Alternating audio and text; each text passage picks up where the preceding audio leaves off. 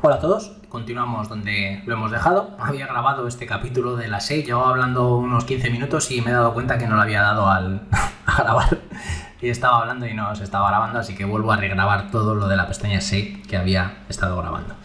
Vale, como he dicho eh, yo solo, sin que nadie me escuchase, eh, teníamos el primer campo que podemos ver en la, en la pestaña 6, que como decía es el, la zona más importante, la pestaña más importante a la hora de obtener el look final que queremos de nuestro, de nuestro file, de nuestra explosión.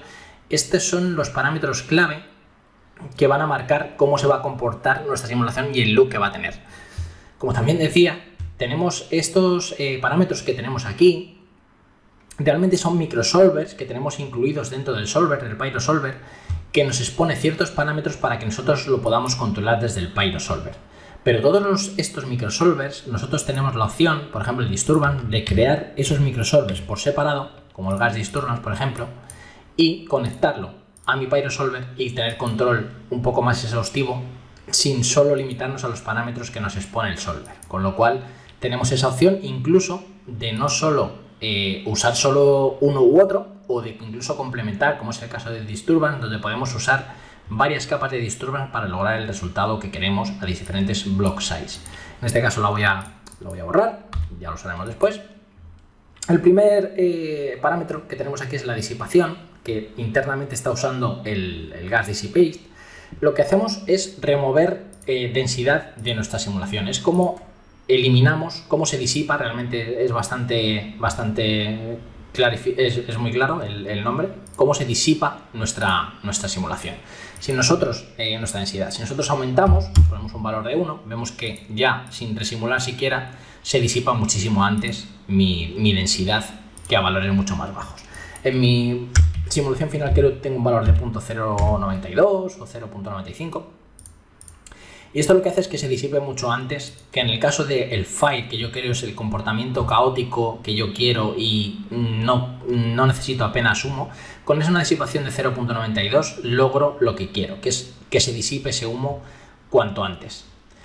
El siguiente campo que tenemos, la disturbance, es un campo importantísimo. Este campo lo que me produce es un deshilachado de las de digamos como las zonas del contorno de nuestra simulación. No es como el turbulence que nos afecta a la forma general, a la shape general de nuestra simulación. El disturbance afecta a zonas mucho más concretas, a zonas que nosotros marcamos eh, en función de un cutoff, de un punto de corte, a partir de la cual ya no aplicaremos este disturbance. Siempre que veamos cutoff, como ya lo, no sé si lo había mencionado antes, quiere decir punto a partir del cual ya no haré algo.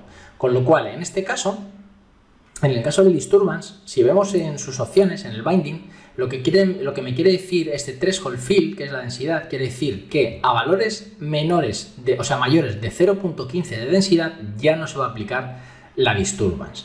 Como vemos, la disturbance afecta al campo de velocidad. Por eso es muy útil en el caso de simulaciones en las que tenemos un movimiento muy rápido, el aire caliente choca con el aire frío muy rápidamente, se producen esas mushroom shapes, esas formas de seta, y esta disturbance nos logra romper esas formas de setas alterando nuestro field de velocidad en un tamaño de detalle que nos marca el block size. Por eso hay veces que utilizamos varias layers con distintos block size para tener distintos tamaños de detalle en esa ruptura del field de velocidad. Por eso el field que altero es el velocity y el threshold field que me marca dónde aplicar ese disturbance, en este caso por defecto viene la densidad, pero yo no quiero usar la densidad porque tengo un fuego y no trabajo con densidad si no estoy jugando más con hit, con, las llamas. Con lo cual quiero que sea el campo hit el que me marque cuándo se aplica o no se aplica ese disturbance. En este caso, la disturbance que yo tengo aplicada, le tengo puesto que si yo lo dejo así, veo que no tengo una gran disturbance eh, en toda la simulación. O sea, a valores ya menores de hit de 0.15 ya no tengo ningún tipo de disturbance aplicada. El block size aparte también es muy grande, voy a bajar el tamaño del detalle. El tamaño del detalle es de 0.06, quiere decir si nosotros creamos una box de un tamaño de 0.06 sería el tamaño del detalle que yo voy a aplicar. A este tamaño altero mi simulación solo a valores inferiores a 0.15 de hit. Lo que quiero es que lo aplique mucho más de forma general, no en zonas tan concretas con solo esa hit. Con lo cual lo que voy a hacer es aumentar este valor, por ejemplo, a 1 y ahora todos los valores de hit menores de 1 ya se van a ser alterados. ¿Veis? Ahora es ha roto mucho más la forma general. No sé si se aprecia. Si no, siempre que queréis, eh, que queráis eh, ver el fill al que estamos eh, modificando, el fill que estamos modificando, testeamos el multifill y activamos el velocity, vemos cómo, si yo doy el play, vemos cómo estoy alterando ahora mi fill de velocidad y en qué tamaño. ¿Veis? Que tengo, esto digamos que es el tamaño de los bloques que yo estoy aplicando gracias al disturbance. Si yo me voy al disturbance y lo quito, y el play, ahí no tengo ninguna alteración, no tengo ningún noise aplicado en ninguna zona en el campo de velocidad, como podéis ver. Lo activo, y así que tengo esa especie de noise en ese tamaño aplicado en ciertas zonas. ¿Veis? Eh, cuanto más rojo, más eh, efecto estoy teniendo en el, en el campo de en el campo de velocidad. ¿Veis cómo estoy afectando? Si yo aumento el tamaño del bloque, fijaos qué pedazo de trails tengo para que veáis el tamaño del bloque, cómo está afectando. De hecho, se carga la simulación. Si yo ahora pongo el multifill y desactivo esto, esto ya es demasiado exagerado. No está, esto no es, muy caótico porque el el tamaño del bloque es muy grande. Voy a disminuirlo, 0.065, creo que es el tamaño que tengo final. Ya tendría un disturbance, estoy rompiendo el velocity fill, estoy deshilachando ese, ese campo en función de ese tamaño del bloque. ¿De acuerdo? Y es muy interesante el cómo me, cambia el comportamiento de, mi simulación. Como digo, el campo que hago el fill to disturb es la velocity y el campo que utilizo para saber cuándo aplico o no aplico esa disturbance es el hit. El siguiente campo que también es muy importante, el shredding, y que sobre todo es importante para fuego, es un campo que también altera el fill de velocidad. Pero, en este caso lo que hace es actúa en zonas de frío a caliente, como si dijésemos y me logra ese aspecto de lenguas de fuego características de cualquier simulación de, este tipo. Lo que funciona con sus opciones, lo que hace es, en función de este temperatura threshold, lo que, le, lo que le digo es valores mayores que este temperature threshold que te estoy marcando aquí, lo que van a hacer es provocar un aplastamiento del field de velocidad. Y valores más bajos van a provocar un estrechamiento del, del field de velocidad. Eso directamente lo que me hace es provocarme esas lenguas típicas de fuego. De hecho, se ve bastante bien si yo ahora activo el shredding y doy al play. Quizás no sé si eso se va a ver mejor aquí o directamente si activo el multifill de velocidad, aquí se va a ver mejor. Bueno, de hecho aquí ya se ve mejor. Aquí ya tengo un aspecto más de lenguas de fuego. Mirar cómo puedo ver una lengua aquí, otra lengua aquí, otra lengua aquí, otra aquí, otra aquí. Si yo aumento este estrechamiento, veréis que se alargan esas, esas lenguas y si aumento el shredding, veréis que esto va a provocar ya una demasiado, demasiadas lenguas. Mirad, de, hecho muchísimas, ni lo puedo diferenciar siquiera.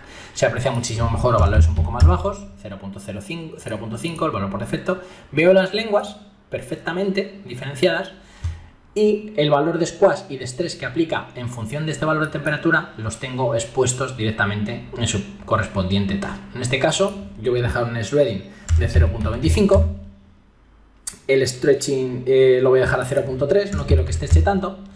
Lo que me provoca esto es que tenga un estrechamiento pero no tan llamativo de mí. Se ven perfectamente ahora las, las lenguas, voy a quitarla, voy a activar el multifill y ya tengo mis lenguas de fuego gracias a ese shredding y ese comportamiento cada vez ya me va recordando más a una simulación de, de Fire propiamente dicho, todavía no es puro. Voy a, voy a hacer otra cosa en el Smoke Fill, en el Multifill voy a poner el humo de color negro ya, porque lo tengo de color blanco, en la densidad de Smoke, eh, que negro. Vale, mucho mejor. Que blanco canta más, Vale, ya tendría algo más acorde a lo que quiero. Esta resolución sigue siendo bastante baja, bueno, lo voy a dejar de momento a 0.08, no lo voy a subir más para que, no, para que tenga un feedback rápido. Y vamos a seguir mirando qué opciones tengo en la pestaña 6. El Sharpening. El Sharpening actúa en zonas donde la velocidad ya va disminuyendo y lo que me hace como es como un blur o, un, o aumentar la definición de mi, de mi simulación, de mi densidad, básicamente, en función de ese, de ese fill sharpening, o sea, en función de este campo sharpening, perdón, en función de la, de la velocidad. Según va disminuyendo esa velocidad, tengo un blurreo o mayor o menor de ese, de ese velocity field. Lo voy a dejar como está por defecto, el reading lo dejo a 0.25 y el siguiente campo que es importantísimo, que es la turbulencia. La turbulencia, a diferencia del shredding, eh, del disturbance, sí que me modifica el comportamiento, la shape general de mi, de simulación. El disturbance, como decíamos, teníamos un cutoff que a partir de ciertas zonas ya no se aplicaba esa distorsión del campo de velocidad, en el campo del turbulence sí que se aplica de forma general y nos modifica el comportamiento de manera mucho más generalizada. Tengo en la pestaña turbulence el tamaño, el swell size, cuando vemos swell, mm, viene a ser el tamaño del noise, la frecuencia del noise, ese sería ese swell size. Por defecto, no sé si ese valor que lo he tocado yo antes, no, está en 1 por defecto. Como digo, antes he grabado y, me he dejado todo, todo sin grabar. He intentado grabar y se me había olvidado darle al play, con lo cual la había modificado. Vale, este Turbulence, si nosotros ahora activamos, damos al play, vemos que ahora nuestro fuego ya se mueve de manera diferente, ya tengo un movimiento un poco más caótico gracias a esa turbulencia, aplica ese noise en función de estos valores que yo tengo marcados en su correspondiente tab.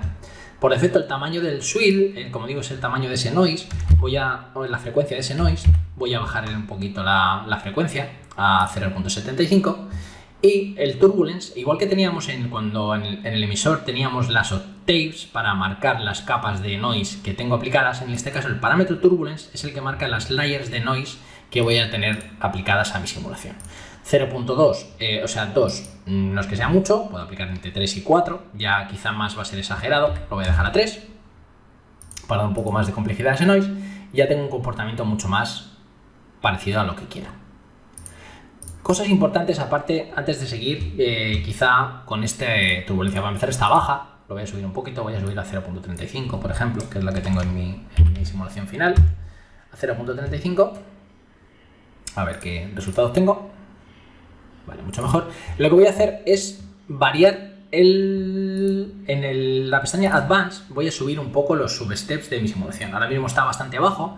Esto lo que marca es eh, la cantidad de substeps a utilizar en función del CFL Condition. Cuando nuestra simulación atraviesa más voxel de los indicados entre frames, en este caso 1, cuando atraviesa más de un, de voxel entre frames, utilizar el máximo de sus steps y cuando no, utilizar el mínimo de sus steps. Lo que voy a poner es un 2 para que utilice dos substeps siempre. Y cuando tenga esa situación en el que vaya muy rápido, en el que atraviese varios voxels de una sola vez, de un solo frame, voy a utilizar un, un máximo de tres substeps. Y con esto ya tendría un... Veis que ya no tengo esa, ese, esas, esas zonas de densidad, sin densidad, con densidad, esa intermitencia en, esos, en esas zonas que era marcada por, por, ese, por ese, la, la falta de substeps en mi simulación acuerdo? Ya tendría un comportamiento mucho más de Fire, esto va mejorando cada vez más. Lo siguiente que voy a hacer en mi pestaña Shape es aumentar el Turbulence, ya lo he hecho. Voy a dejar el, confinement, lo que me hace es esto, eh, estas simulaciones, tanto explosiones como esta simulación de Fire, provoca remolinos. En zonas donde choca el aire caliente con el frío, se produce ese, ese ese giro del campo de velocidad que me provoca ese cool, ese remolino. Y este confinement lo que hace es aumentar esos remolinos en las zonas donde se producen. Es decir, si yo tengo una zona donde se produce esos remolinos, este confinement, al aumentarlo, hace que esas zonas todavía tengan más, se marquen más esos remolinos. Por defecto creo que lo tengo a, a 5 me parece que es el valor que utilice finalmente. Con esto aumentará la zona de remolinos, todavía dándome un movimiento y un, aspecto más, más caótico. ¿De acuerdo?